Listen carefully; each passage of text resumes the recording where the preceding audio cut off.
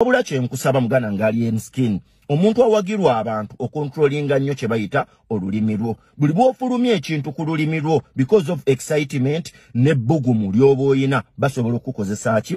Ensobi. N'ekirala kye nnyinza okwewaza muganda nga alien skin nkwewaza nnyo nnyo nnyini ddala okukola ki? Okuintavininga mu nsonga z'ebyobufuzi oba okuyingira mu byobufuzi. Bajja kutta kaaliyayo. Fe tukwagadde nti yeggwe oli kyemeza. Mwana kuva mu ggeto okuva mu ggeto n'ofuuka ki ky'oli abalala bakwagadde naddala abali mu opposition nti nno obajjako stress oli stress kira nti ensonga za mwami museveni z'abakoze okubasiba okubatulugunya n'enfuga embi mu ggwanga lya uganda. Baayagala nnyo nnyo nnyo nnyo nnyo ggwe omuyimbi alien skin. Eyavuddeyo okubajjako ki? Stress nga bwe balwanyisaani mwami museveni okuva mu buyinza. Wabula bw'onaatandika okujoyininga politics nga bakukozesa ensobi amazima ga katonda popularite yo egenda kugwa.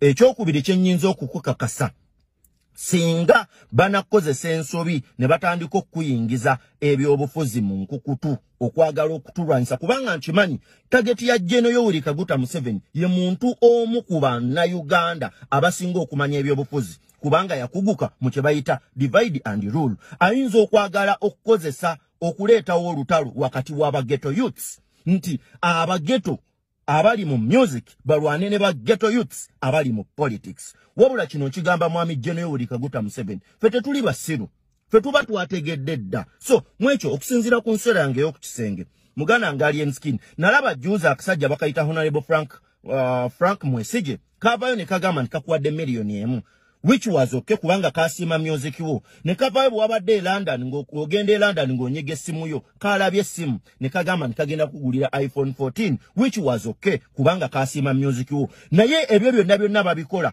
baba bakozesa kasenda baguzi okusobola okulaba nti nno bakusikiriza bo bakontrolinge bakozese bye baagala. So mwekyo muganda nge alien skin beera mwegendereza nnyo ate era nkusaba obuteenyigira mu byabufuzi bannayuganda bw'onaavaayo n'osonga sayidi yonna. Muganda ng'ogenda kuleeta kye bayita obuzibu. Ekisookera ddala mu bageto youths ogenda baleetera obuzibu ekyokubiri ogenda kuleetera bannayuganda okwagala okukukyawa ng'ate bakwagadde nnyo ate era bakwagala bakulimu mu mbeera yonna. Nkwegayiridde mind about omumwagu. Soma omumwagwo biki byogenda okwogera sooka obyetegereze obyekennennye nnyo ojja kusobola okwewala amaanyi g'abasajja bano